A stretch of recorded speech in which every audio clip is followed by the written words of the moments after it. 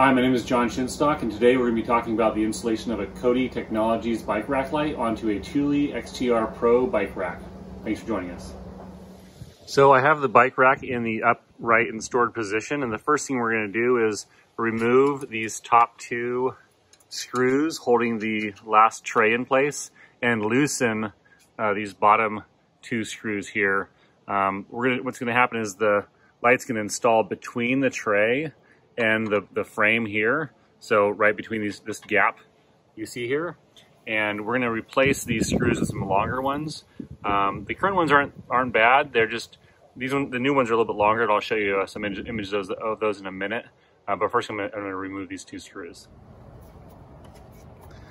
You'll need a five millimeter Allen wrench to perform this step. And once they're loose, you can just remove them out of there. And the screws we're replacing them with will require a, a six millimeter um, Allen wrench. And the reason we're only removing two is because we want to keep the tray in place. Uh, we're going to replace all four of them, but for now, to get the, the light in, we're removing two screws, and then we're going to set the, the light in place, replace those screws, and then replace the, the bottom screws.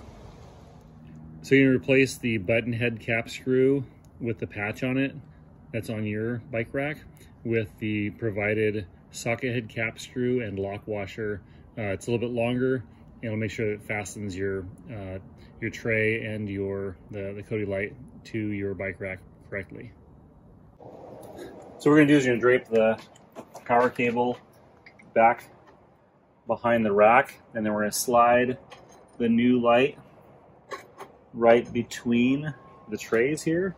So luckily we have them, the lower one's a little loose and then the, the plates will line up with the other plate. And then we have these, these longer screws. I'm just gonna start them by hand real quick to get everything going. And the tray, I'm about to stand up so you can get them, get them started.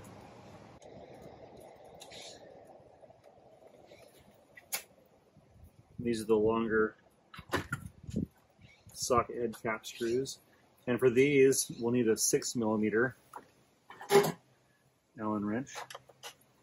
Just gonna tighten them up.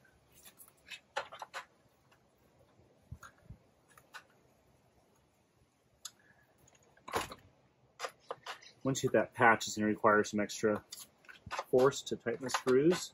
But I'm not going to go all the way. I'm going to, before I get that fully installed, I'm going to remove these button heads. Take the washer off of them, load it on the cap screw, go back to the larger wrench, and feed those into the rack like that.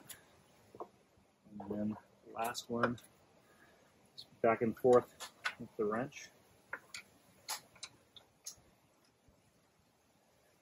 might be able to hear in the background it's getting kind of the weather's it's a fall it's about to rain which is good time to have a, a light on your rack because it's easier to see on your way to the trail so anyways now I've got the screws started I'm just going to tighten it up so the last thing to do is going to be some cable management and routing cable from the light down to your power supply in your vehicle. And as you've probably seen, it requires a, a four inch, oh, I'm sorry, four pin connection on your vehicle.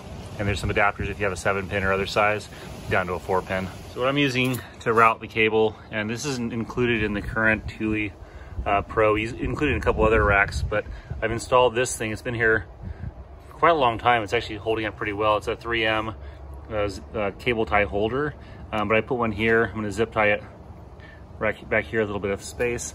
And then I'm gonna run the rest of it down to the side of the rack and put some zip ties there. I'm not gonna record me doing that, but I'll show you what it looks like when I'm done. Um, if you do want one of these and you're placing an order, just give us a comment. We'll throw a couple in the bag. Um, they're kind of nice. You can buy bags of them from Amazon, but not everyone needs a bag of 100. So if you want a couple, just let us know and we'll, we'll throw some in there. All right, so the light's installed and I've run the cable back to the supply at the vehicle. You can see I ran it here. I installed one zip tie.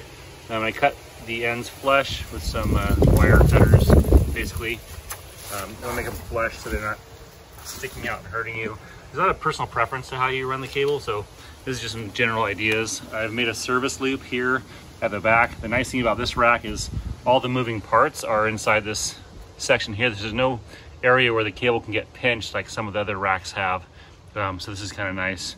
And then I've just uh, made a little service loop, uh, put a couple cable ties there. And then how much you have it stick out here, it really depends. I could probably make this shorter because my vehicle has a long extension here. But if I put my, my rack onto another car, uh, they might have a, a rigid mount here and won't have this extra extension. So it might be okay to leave this here. And you also push and pull this in and out. These aren't super tight, but they're tight enough to hold everything in place. All right, let me know, let us know if you have any questions. Hey, thanks for joining us today. If you have any questions, you can check out our website at www.kodytechnologies.com or feel free to give us a call or shoot us an email. Have a good day.